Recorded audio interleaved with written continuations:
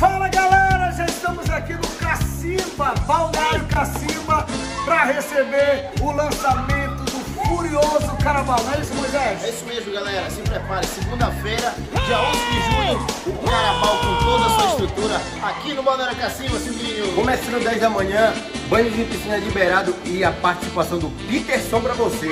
Então pronto, você não pode perder, porque o novo tempo Já, já começou!